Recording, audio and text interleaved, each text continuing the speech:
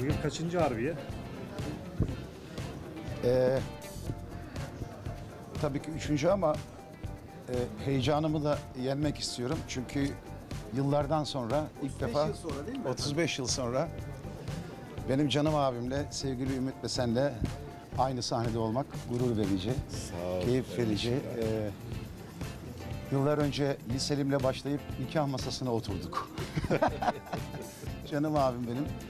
Bu akşam muhteşem bir seyir olsun. Ee, Ümit abi de e, 80'li yıllara damga vuran o çok önemli eserlerini seslendirecek. Hayırlısıyla ben de öyle. Birlikte duygusal bir akşam yaşayacağız. Karışık kuruşuk bir Sen şeyler de bu akşam yapacağız ya. aynı sahnede olmanın mutluluğunu tekrar yaşıyorum abi. Canım Sağ ol canım benim. Ben de aynı şekilde. Ee. Cengiz benim gerçekten çok değer verdiğim bir kardeşim. Tarabya'da bizim çok uzun zaman birlikteliğimiz oldu böyle. Hatıralar. Ee, Aynı sokakta, yan yana dükkanlarda, aynı mekanlarda e, çok e, sahne almışlığımız var. Ve e, herkes nereye gitsek e, bana bazen Cengiz abi derler, ona Ümit abi derler. Şarkıları karıştırırlar Şarkıları değil mi? karıştırırlar. Nikah masası gelin olmuş gidiyorsun isterler benden. Onlar Benden nikah masasını isterler. Böyle biz yani e, evliliğe çok büyük hizmetleri olan iki kişiyiz değil mi? Nikah Hem gelin. öyle hem de e, Sevenler. birlikte başladığımız yıllar e, içerisinde ve daha sonrasında Ümit abi birbirimize karşı olan sevgimizi, saygımızı hiçbir zaman Hiç, yitirmedik. hiçbir zaman. Onu her zaman sevgiyle koruduk. Sormak istiyorum. Ne Kimleri, zaman kimleri, telefon açsam her zaman arka çıkar gelir Canım, bana. Her canım. konuda böyle. Abi, kimleri kimleri nikah masasına oturttun? Kimlerin düğünlerine gitti? Vallahi biz başladık. Ben 14 yaşında düğün çalmaya başladım zaten. Hepsi Yani köylerin sahnesi yoktu. Şey ahırı sahne yaparlardı. Arkamızda samanlık yani. Orada orgu falan kurup e, çok e, düğün çaldığımı bilirim.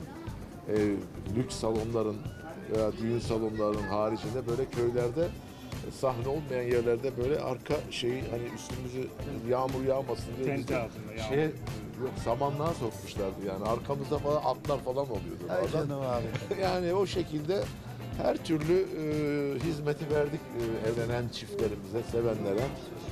E, hatta babam rozet yaptırdırdı e, eskiden. Altın rozet diye de damada taktıralım oğlum orkestra olarak diye.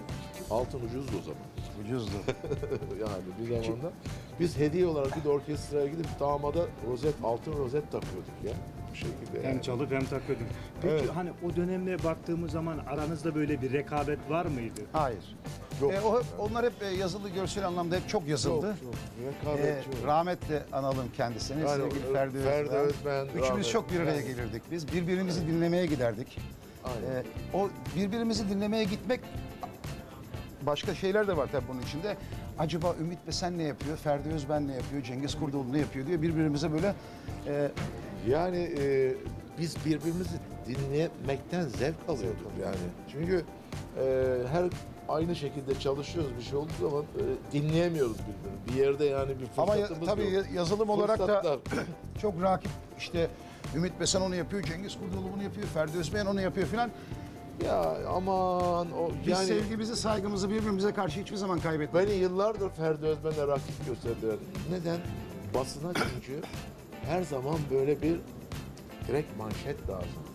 Ferdi Özben e, zamanında işte ya lahmacuncu derdi bana. Mesela ben şey lahmacun birazcık şey okuduğum için e, nereye kadar gider ki falan o e, bıyıklarıyla şuyla buyla falan filan gibi. Konk dergisi yazar, öbürü yazar. Ama biz telefonla canım ciğerim konuşurduk yani. Öyle bir şekil yoktu. Cengiz abi o zaman da böyle terler miydi? Çok. O zaman daha çok kiloluydum. Ümit abi Mesela- çok zayıflamışsın ya. Mesela ben her programda Dilek Taşı'nı okurken Ferdi Özbeğen'i anarım ve alkışlatırım herkese. Neden? Çünkü dolaylı olarak borçlu olduğumu bilirim. Kendisine de söylemişimdir röportajlarda da. Ferdi Özbeğen rahmetli zamanında bir plak yapıp bu piyanist şantör olayını o plakla tutturmasaydı ne bana teklif gelirdi ne de Cengiz'e teklif gelirdi. Bize ondan sonra teklif geldi. Ben plağımı yaptım 80 yılında. 84-85 yılında Ben de Cengiz.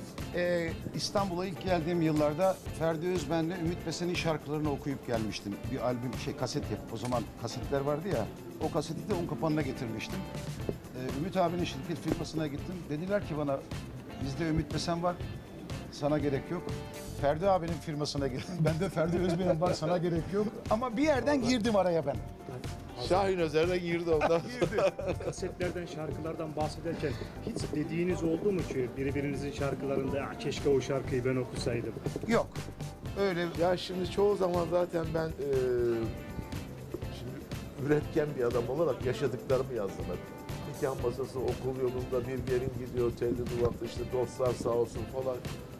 Bunlar hep ben kendi yaşadıklarım olduğu için e, öyle bir şekilde hani bu şarkıyı da ben okusaydım falan diye hiçbir zaman şey yapmadık. Çünkü her bir yaptığımız bizim tutuldu. Ya tabii bir Her- yıllar sonra bir hoş seda bırakmak, işte e, anılmak, e, böyle çok değerli yerlerde e, performans göstermek de e, bizim için gurur verici tabii. Allah razı olsun herkesten. Bizim elimizden tuttular, bize sevgi sundular, bize yüreklerini açtılar. E, 30 yıl sonra, 35 yıl sonra, 40 yıl sonra yine e, bu sevgiye e, layık göz- görü- gözüküyorsak, görünüyorsak e, ne, Ne mutlu mutlu. bize, ne mutlu bize işte evlatlarımıza e, hatıra. Yani hiçbir zaman e, sokakta giden bir insan bizim için kötü düşünmedi. Ya Yalnız Cengiz Kurdoğlu, Bunlar Ümit usta ben çömez. E, estağfurullah. Dediler ki yani siz karakter olarak bir kere Daha çok müziğinizin de önündesiniz. Yani bu çok önemli. Ne magazinsel bir yönünüz oldu şimdiye kadar, ne e, nahoş bir hareketiniz oldu ve halka hep sevgi verdiniz. E, bu O da gerekli bir ara sıra. en büyük olay. Yok ara sıra gerekli o magazin olayı. Gerekli mi diyorsun? Tabii yani daha Ama, e, 30 şey- 36 yaşında Ümit Besen, 34 yaşında Cengiz Kurdoğlu. İki, iki usta buradayken e, yeni jenerasyonu nasıl buluyorsunuz? Şimdi eskileri buradan görüyoruz. Hala iç içe, hep iç içeymiş de zamanında. Vallahi bu işi Peki doğru yapan yeniler- yani. Bu işi doğru yapan e, do- gerçekten de doğrusunu yapıyor. E, doğru yapanları da görüyoruz tabii de. Biz e, yapısal olarak e, yıllardan beri hiç kimseyi eleştirmedik. Hep kalbimiz. Evet. Sebep yok Duygulu- çünkü. Duygu veren herkesi biz alkışlıyoruz. Bize de yeter ki o duyguyu versin. Herkesin yolu açık olsun. Kimseyi baltalamak gibi bir lafımız olmadı şimdiye kadar. Hatta biri çıktı dedi ki ya dedi Aleyna Tilki bir şarkı yapmış. Abi senin seni unutmaya ömrüm yeter miye benziyor. Yok şuna benziyor. O gün sevgili Hakan Ural'a direkt mesaj attım. Dedim ki kardeşlerimin yolu açık olsun. Benim şarkımla makam ve duygusallık dışında hiçbir alakası yoktur. Çağrışım yapmıştır kulaklarına ama öyle bir şekilde yok. Destekçisi Ufacık bir Tabii, tabii, her benzerlik bile olsa ben zaten buna karşı kesinlikle eee, negatif düşünüp bir şey yapmazdım herhangi bir şey. Yeni jenerasyonun en etkili isimlerinden biri de Aydın Kurtoğlu biliyorsunuz. Yok sen söylemeseydin ben söyleyecektim zaten. Aydın Kurtoğlu Aydın hakkında zaten neler söylersiniz? Aydın'ı zaten gördüğümde valla gözlerim yaşarıyor. Canım ya diyorum. Cengiz'in diyorum maşallah diyorum yani nasıl yetişmiş. Ee, çok hoşuma gidiyor. Çok Gerçekten teşekkür de ederim. çok başarılı. Bir, de yani. bir tek babasından destek alan. Babasından destek torpil Babası. yok. Sporda, müzikte veya ayrı ayrı dallarda var. Bunlarda torpil yok. O ancak Kesinlikle. Yanlışını söyler, Ceza eleştirir. O Evet. kadar. Peki bu ikiliden sürpriz bir e, single, albüm çalışması gelir mi? Var mıdır böyle bir düşünce? The best of. Bugün Vallahi düşünülür her şey, mü? her an her şey olabilir yani. Biz bugün Belki bu işi e, şimdi söylediğiniz bir çalışmayla noktalayabiliriz yani. Ondan sonra da bir daha şarkı söylemeyiz. Ben sahneye çıkıyorum. Çok Ümit abi de teşekkür alıyorum. ediyoruz. Sevgiler. sevgiler Sevgiler. yapacağız sonra. Sevgiler. Merak etmeyin.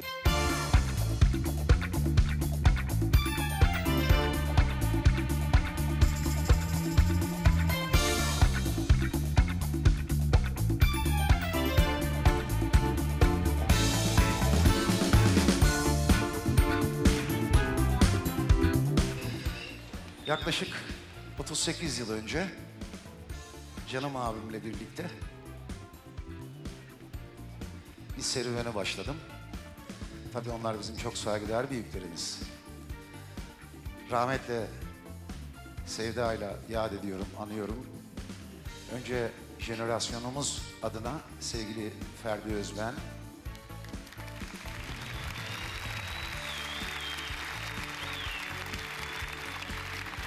Daha sonraki yıllarda işte askerlik yıllarım bitmeden önce 80'den önce köyde memlekette Erdoğan abi Ümit de senin abimin şarkılarını okurdum ben.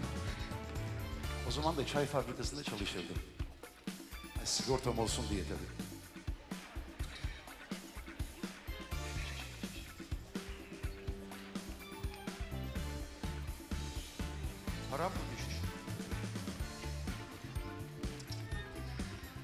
Bu akşam kendisiyle aynı sahneyi paylaşmaktan dolayı öncelikle mutluluğumu ifade etmek istiyorum. Biraz önce yanında resim çektirirken bile heyecanlandım. Canım abime öyle saygı, sevgi duyuyorum. O tahta masalar, şikayetler, ondan sonra hmm, benden istedikleri. Bazen böyle derler, abi ne güzel okumuşsun nikah masasını. Ümit abiye de gidiyorlar, abi ne güzel okumuşsun, gelin olmuş gidiyorsunu derler böyle. Böyle karıştırırlardı birbirimizi. Ama ona bile saygı gösterirdik, sevgi duyardık, hürmet ederdik. Çünkü sizler hep alkışladınız, sevginizi verdiniz. Daha sonra da evimize aşımızı verdiniz. Onun için Allah sizleri başımızdan eksik etmesin efendim.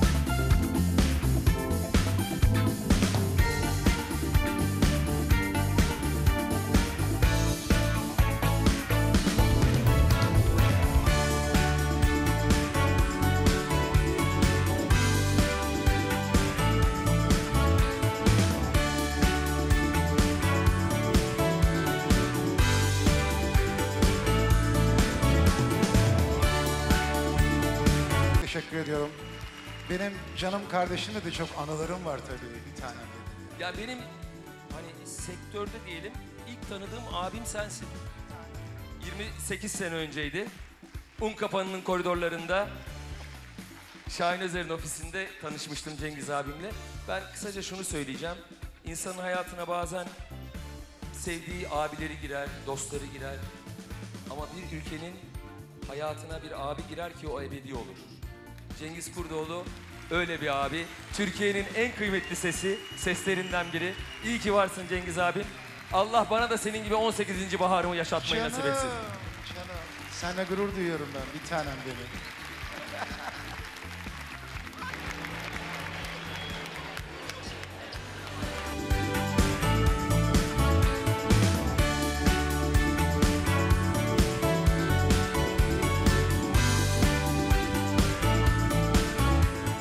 Seni görünce sevinmemek, gurur duymamak olur mu canım abim benim? Sen gerçekten çok güzel bir kardeşsin. Herkesin sevdiği, Ümit abi saydığı o kadar bir tanem. az sanatçı var ki Canım abi. onların başında gelen insanlardan ustasın birisin sen. Sağ olun. Gel biraz burada dertleşelim ya. Nasıl kimse duymuyor. İsmini senin ismini görünce ertesi gün ilk otobüste tekrar memlekete gittim. Dedim ki bana buralarda yer yok. Sen çay toplamaya devam et. Estağfurullah. Keşke bana direkt gelseydin. Ay, o gün ay! o gün 5 yıl önce başlardı bu iş. Bir tanem benim. Gel canım abiciğim. Ya Cengiz bu kadar işte. Yüce gönüllü, alçak gönüllü, mütevazi. Bir tane abi. Gerçek bir kardeş. Ben sahnenin gerçek sahibine emaneti teslim edeyim mi?